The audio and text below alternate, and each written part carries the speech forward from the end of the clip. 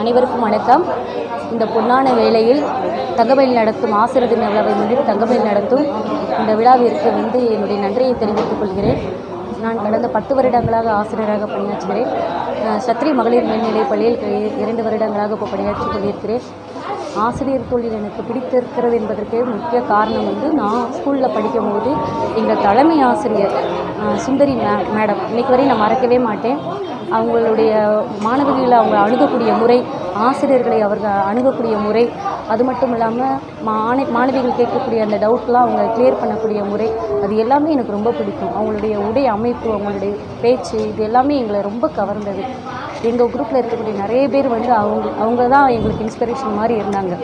அதனாலே எனக்கு ரொம்ப ஆசிரியர் தோழி ரொம்ப பிடிச்சி போனது அது மட்டும் இல்லாமல் இன்றைக்கி நான் ஆசிரியராக இருக்கும் போது ரொம்ப ரொம்ப சந்தோஷப்பட்டக்கூடிய ஒரு விஷயம் என்னென்னா சொல்லுவாங்க பொதுவாகவே உலகத்திலே வந்து இரண்டு இடங்கள் வந்து மிகச்சிறந்த இடங்கள். அப்படி தாயின் கருவறை ஒன்று இன்னொன்று வகுப்பறை ஒன்று சொல்லுவாங்க.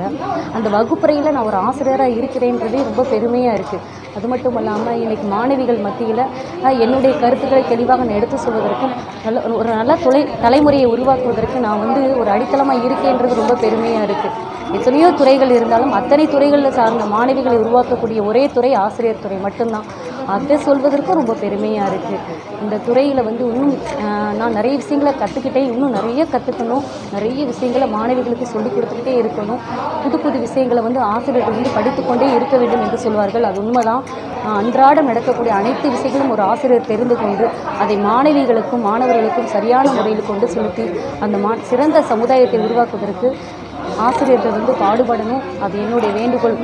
இத்தோடு என்னுடைய உரிமை அறப்பணியாம் ஆசிரியர் பணிக்கு ஒரு வணக்கம். அது தங்கமயிலின் குரு வணக்கம்.